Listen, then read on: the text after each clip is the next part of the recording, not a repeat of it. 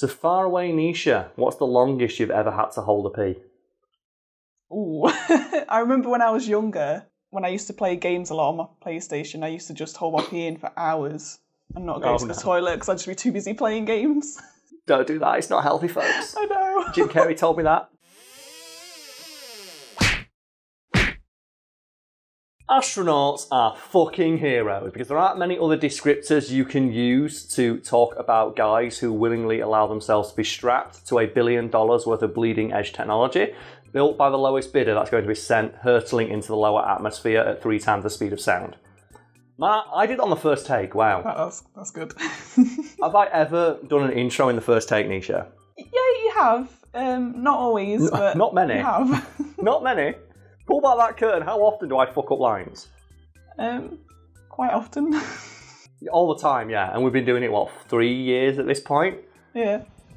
So every time I see a comment, it's, oh, you should like stream these videos being recorded live. That'd be interesting. Nah. No, definitely Honestly, not. folks at home, half these videos are just me messing up and re-recording lines. That said, it's not like space travel is without its downsides. Just ask Alan Shepard, a man whose historic first flight into space was marred by the fact he smelled like piss the entire time. First of all, I need to know: Can astronauts pee in space? Yes, astronauts and cosmonauts can absolutely urinate and defecate in space, and there is an entire cottage industry um, dedicated to designing technology that makes this easier. And um, it's now so sophisticated that astronauts and cosmonauts can um, poop and pee inside of their spacesuits thanks to something called, I shit you not, the Maximum Absorbency Garment, or the MAG or MAG, um, colloquially known here on Earth as a space diaper um, which, while funny, um, I don't think really sells how advanced this uh, you know piece of underwear technology is. Because when I say the word space diaper, um, what do you think, Nisha? What, what's the image that comes to mind? I just think of a a massive diaper, just Yes, like like you put on a baby. You are imagining a cartoonishly large, unwieldy diaper, just like that's all soggy and sat inside the spacesuit. And I'm going to take a minute to put some respect on the maximum absorbency garment because it's described as being more akin to a pair of bike shorts. And the garment is noted as being exceptionally thin and it's comprised of multiple layers of literal space age technology and that is capable of absorbing and wicking away 400 times its own weight in moisture before it becomes damp. Jesus.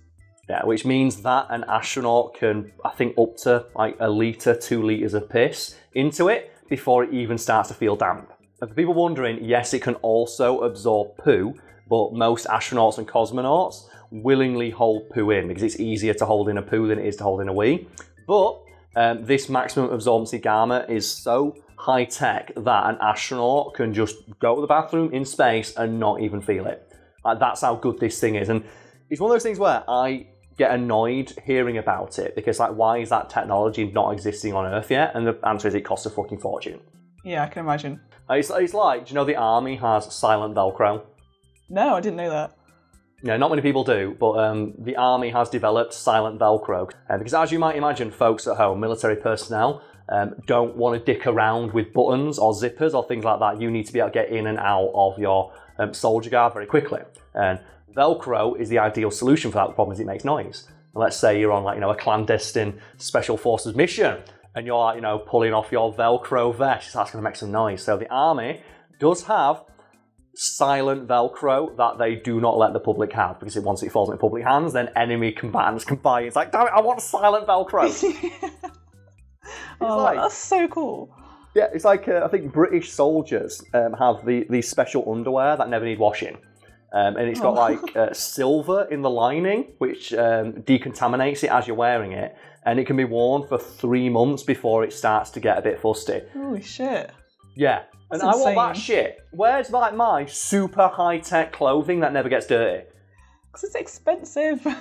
It is expensive, but if you could, if you don't need to wash the t-shirt, if you could just wear a t-shirt for like six months, I'm not taking that shit off. Then again, with lockdown happening, this how many days have you woken up in your pajamas and gone, "What's even the fucking point of taking these off? I'm going to be back in them again in two minutes."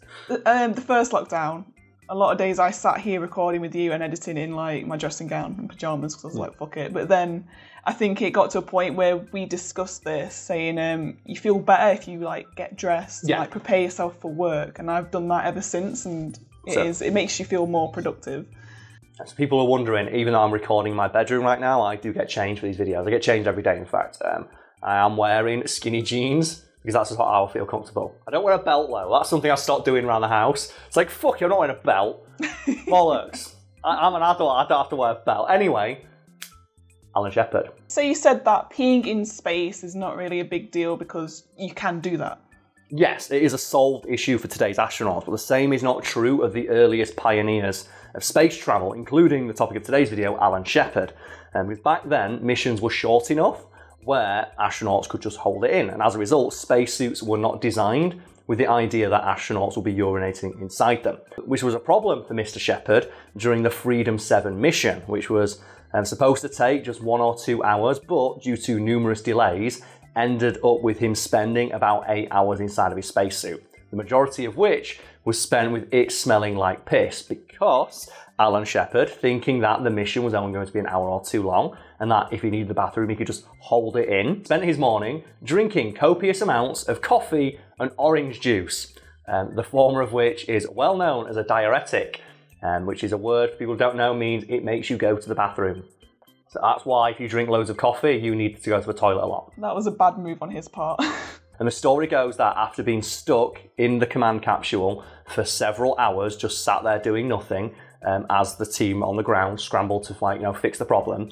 Um, literally minutes before he was set to hurtle into space, Alan Shepard radio command and told them simply, "Man, I gotta pee." So what happened then? Did they have to cancel the mission? They couldn't cancel the mission, no Nisha, because millions and millions of dollars were on the line. And um, uh, Command told Shepard to wait while they checked with their scientists and experts uh, how to solve this issue.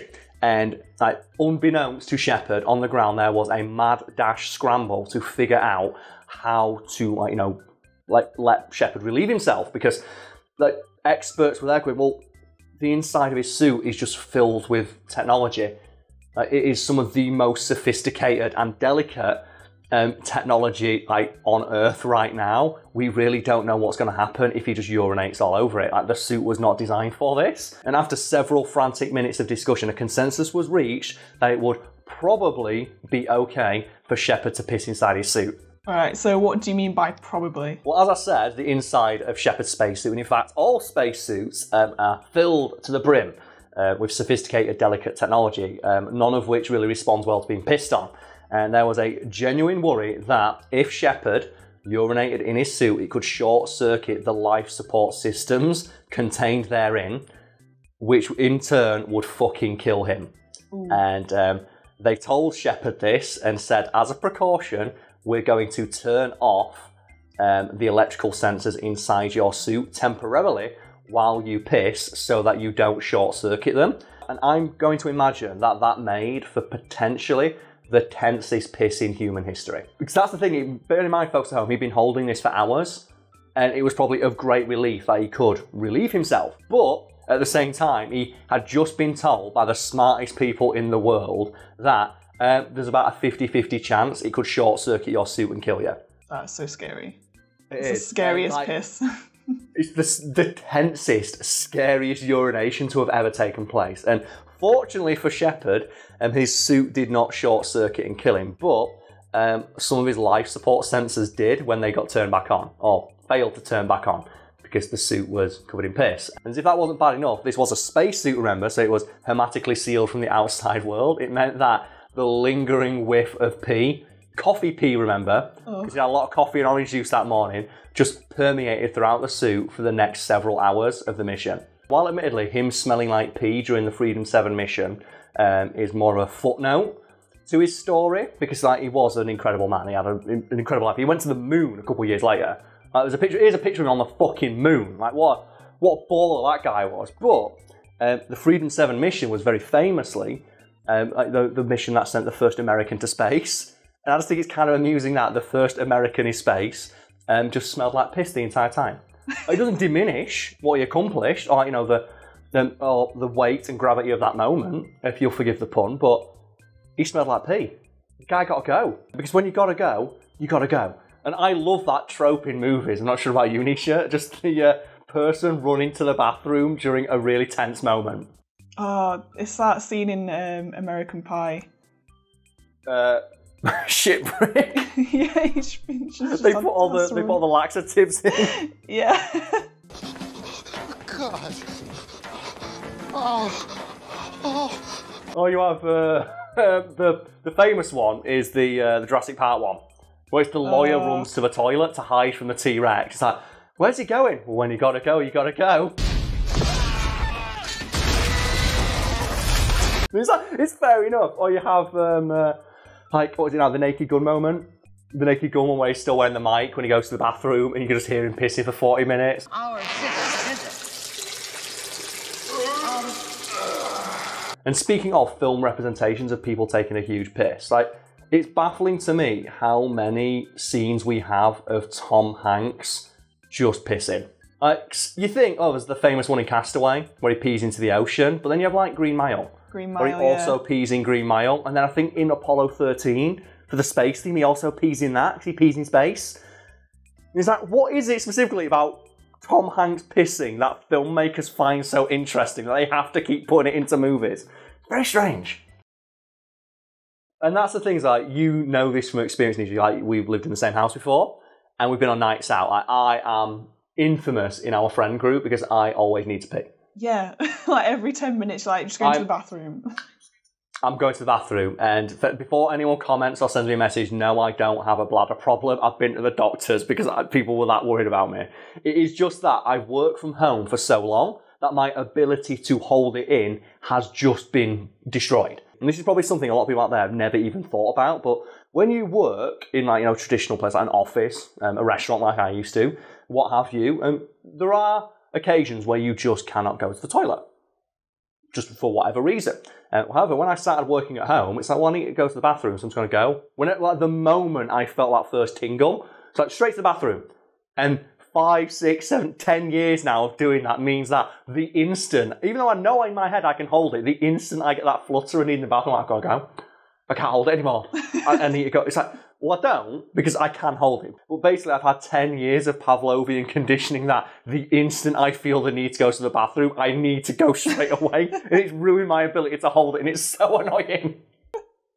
Uh, I think like with me, like I could go ages without going to the toilet. But I think it's mainly because I don't drink as much as I should do. Because the Mm-hmm. moment I try and drink more water, I'm going like every half an hour. It feels like, or needing to go like, every half an this?" hour. Yeah, it's like what is I, this? I need to get rid. So yeah, I think I just don't drink enough to like need to go very often. And the problem that's relatively more recent for me, caused by videos, is folks don't you probably notice in every single one of these videos I have a mug or cup or glass in my hand of some uh, kind, and like, we record three or four of these in a day, and that's because I just like having something to do with my hands. Because if we don't have a cup, I, I just stand awkwardly, and that's not fun. Or I'll like overly gesticulate. So I, a solution I found is to hold a mug. But that means now every time I stand up, I look at my kettle and go, "Do I want a cup of tea?" It's like, and the answer is, I don't need a cup of tea, but I should, I'm going to get one. Yeah. And more recently, I've just been drinking a lot of coffee because people have noticed that we're in lockdown. We've not really had any drinking videos the last couple of months because I don't like the idea of drinking on my own. It sounds super fucking depressing. so you can pull back the curtain on this. Like whenever we do drinking videos in the past, we'd be in the office together. We normally go out for a meal or a drink after the fact. yeah. But I can't do that now, so I just thought, oh, I'll just have a coffee instead. And now I have like three or four coffees on recording days. And I remember like Googling, is this bad? And I checked, it went, oh, well, a safe amount is five coffees a day. And I thought, man, five coffees a day sounds fucking dangerous. And then I remember that my mum has 10 cups of coffee a day. Really. Yeah, and she smokes 20 a day as well. So I went, oh, yeah, you know what? Addictive stuff just runs in my uh, family, I guess. Maybe I'm just addicted to drinking tea and going to the bathroom. Yeah, my my mum and my stepdad drink probably about ten cups of tea a day, and I I get bored. Like I'll have I've had a cup of tea today. I'm just like, nah, I don't think I want another. I'll have something different. It says it all that we're so bored of tea, but uh, uh, do you know what? I, I guess this goes at the end of the video because this has gone on way too long. So that's going to be the end of the video um, uh, for the editor. And I guess if they leave this bit in, um, sometimes we just have conversations that flow naturally, and well, you know, we shift videos around because that's the power of editing.